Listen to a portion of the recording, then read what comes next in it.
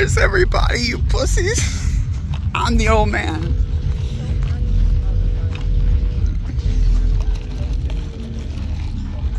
Last night there was so many people out here. Like it was fucking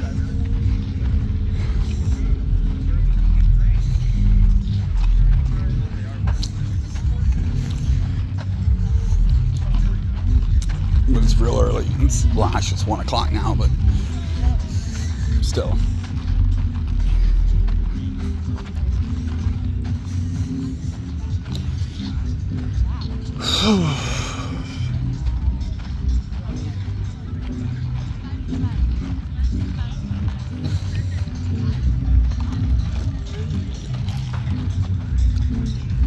Five hours from now, it's gonna be fucking standing room only.